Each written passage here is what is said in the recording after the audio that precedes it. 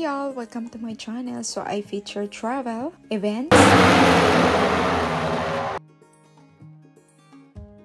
DIYs and crafts, gardening tips and ideas, and many more.